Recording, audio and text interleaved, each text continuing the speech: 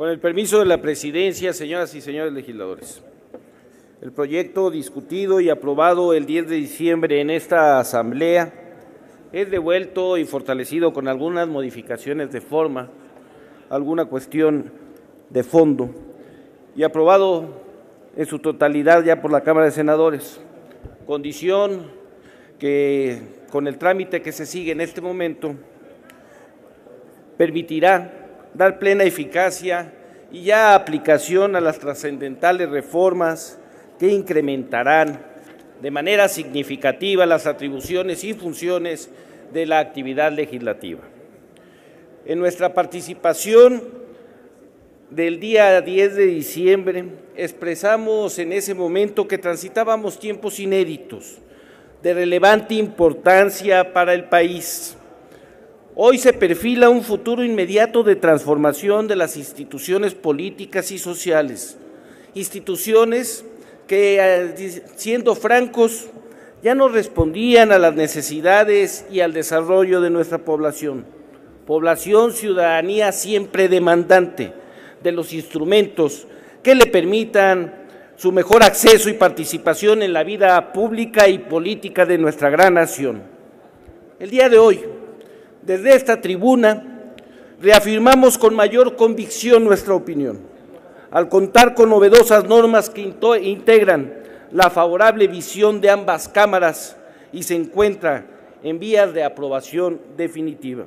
y aplicación inmediata. Nueva Alianza, el grupo parlamentario de Nueva Alianza, considera procedentes y comparte las precisiones realizadas por la Cámara Alta al proyecto que le fue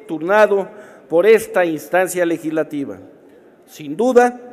es evidente el ajuste a la denominación del nuevo órgano electoral en las disposiciones modificadas una vez integrado e instalado el mismo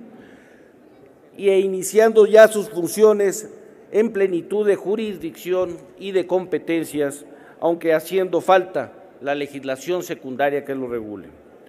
Resulta igualmente adecuada la precisión en el procedimiento de presentación de las iniciativas ciudadanas. Con ellas se da una mayor eficacia, así como la integración de un representante de la iniciativa ciudadana en su discusión al interior y al seno de las comisiones, lo que otorga sin duda mayor participación al interés ciudadano y por lo que respecta a la iniciativa ciudadana, mayor seguridad jurídica al definir un periodo para su resolución. Ambas instituciones jurídicas, iniciativa ciudadana e iniciativa preferente, comparten un desarrollo del quehacer legislativo, al vincular de nueva manera el quehacer legislativo con los ciudadanos y con el Poder Ejecutivo, incrementando así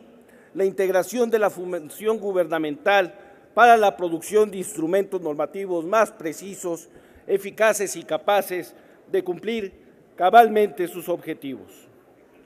Hoy las normas que en breve someteremos a la aprobación de esta Asamblea son evidencia de los procesos crecientes de integración y vinculación del quehacer público entre las distintas funciones y entidades de gobierno como respecto a la ciudadanía a quienes se otorga una plena participación directa en las decisiones de trascendencia del interés ciudadano. La presente legislatura ha sido autora de las grandes transformaciones normativas sustanciales que propician hoy un mejor presente y mañana un mejor futuro para nuestro país. Hoy tenemos la seguridad que con las reformas que en este punto abordamos, daremos aplicación adecuada a las recientes disposiciones constitucionales en materia política, generando mayor confianza, eficacia y participación entre el gobierno y la ciudadanía. Nueva Alianza ha impulsado desde el inicio de esta legislatura estas nuevas instituciones políticas, habiendo incluso presentado en su momento iniciativas sobre la materia y en la seguridad de que con ello da cumplimiento a sus esenciales principios partidistas de gobernar con y para los ciudadanos, por lo que nuestro voto será favorable al decreto presentado. Muchas gracias.